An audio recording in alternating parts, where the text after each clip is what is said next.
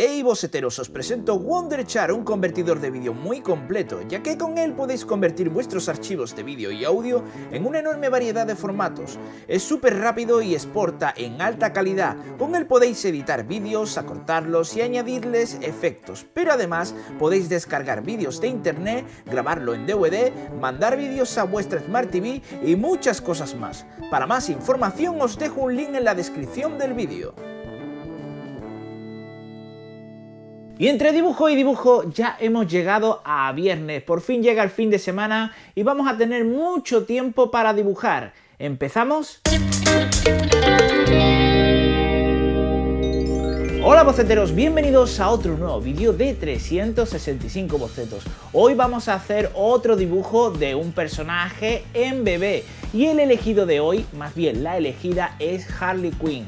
Yo creo que va a quedar muy graciosa, va a quedar muy simpático el dibujo y para ello, como siempre, boceteros, nos vamos a ir a la mesa de trabajo.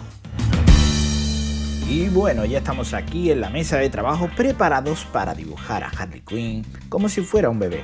Lo primero que vamos a hacer, como siempre, es ir haciendo las formas, ¿no? No vamos a detallar mucho todavía la forma pero ya tenemos que ponerle la posición que le vamos a poner el bate de béisbol detrás de la cabeza, las manos, la posición un poco y ya ahora cuando tiene más o menos los volúmenes vamos dando los detalles. Vamos a intentar pues que, parezca un bebé muy muy muy parecido al estilo de Harley Quinn y, con esa inocencia que tienen los bebés.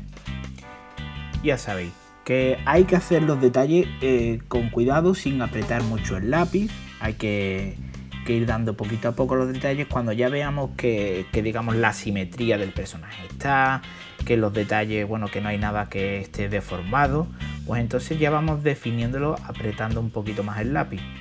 Ese es uno de los mayores problemas que tiene la gente cuando empezamos a dibujar, que empezamos apretando, apretando, queremos hacer el dibujo final y si nos equivocamos pues tenemos que cambiar directamente de papel porque ya es que está tan marcado el lápiz que luego es difícil eh, quitarlo con la goma. Así que yo recomiendo eso, flojito y luego ya se van dando los detalles que no hay ninguna prisa. Una vez terminado el boceto, como estáis viendo, vamos a empezar con la tinta. Yo siempre utilizo este tipo de rotulador o de marcador este es de la marca Sakura, pero hay de diferentes marcas. Es un rotulador que tiene la punta que es como un pincel, pero un pincel muy duro. O sea, se asemeja mucho el resultado del trazo al de una plumilla, que es lo que se suele utilizar para dibujar los mangas, los cómics. Así que a mí me gusta mucho el resultado porque me recuerda mucho a eso y el dibujo queda muy chulo. Lo voy a dejar en la descripción del vídeo, un enlace a Amazon por si os interesa y queréis hacerse con uno como este, os lo dejo en la, descripción del vídeo, un link a Amazon. Y también os voy a dejar luego cuando, bueno, luego no, en la descripción del vídeo lo vais a encontrar también, un link con, con los marcadores que suelo utilizar para darle color, ¿no? que es los Winsor Newton, son una marca muy muy buena eh, los rotuladores son de base de alcohol y eso lo que te lo que ayuda es un poco a que te hace una mancha uniforme. Se asemeja mucho al resultado que te da lo digital, ¿no? Cuando haces un dibujo en digital que se queda así con, bueno, que, el, que el color no varía y queda muy chulo. Pero yo en este caso, por ejemplo, estoy jugando a que como Harley Quinn se supone o por lo menos en, la animación Harley Quinn está maquillada la cara de blanco. Y en la película yo siempre he visto fotos y está muy pálida. Así que no le he querido dar un color de carne de piel muy oscuro y estoy jugando con el blanco del papel y quedará así. Bueno, yo creo que queda guay. Ahora cuando le pongamos esto que le estoy poniendo de, del color azul en la mejilla y el color rosa, yo creo que ya se ve perfectamente que Harley Quinn ya una vez dando color ya va pillando el rollo de Harley Quinn. Y bueno, ya sabéis, yo le estoy cada vez haciéndome más a este tipo de marcadores. He encontrado también este marcador que es como es un gris, que si una vez que ya tengas los, los colores ya hechos la capa, le vas dando luego por encima y le vas dando sombra y queda muy chulo. Con este marcador de la marca Sharpie lo, le estoy escribiendo las letras del váter, del bate, y creo que va a quedar, bueno, va a quedar muy guay. ¿Qué os parece? El resultado, yo estoy muy, muy satisfecho. Aunque lo habéis visto súper acelerado, realmente me he llevado una horita, cosita así, haciéndolo.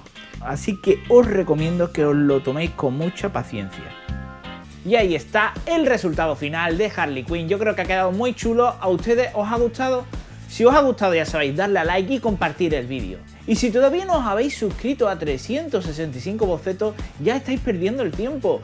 Darle a suscribir y cuando aparezca la campanita, ese botoncito que aparece justamente al lado de suscribirse, pulsarlo y activar las notificaciones para que os lleguen todos los días, ya que subo los 7 días de la semana, subo un dibujo diferente, igual de guay que este. Así que pulsando la campanita os llegan las notificaciones. Y nada, suscribirse y también seguirme en mis otras redes sociales por si, bueno, queréis ver otro tipo de contenido que hago. Estoy en Twitter, en Instagram y en Facebook. Se llama arroba 365 bocetos. No os lo perdáis porque subo otro tipo de contenido que también está muy chulo. Y nada, bocetero, ahora os voy a dejar con una sugerencia para por si tenéis ganas de ver el vídeo siguiente y tenéis que esperaros hasta mañana, pues mientras vamos viendo otros vídeos y así vamos practicando otro tipo de dibujo. Y yo ya me despido, mañana volvemos con otro pedazo de dibujo y nada, a dibujar. Hasta mañana, boceteros.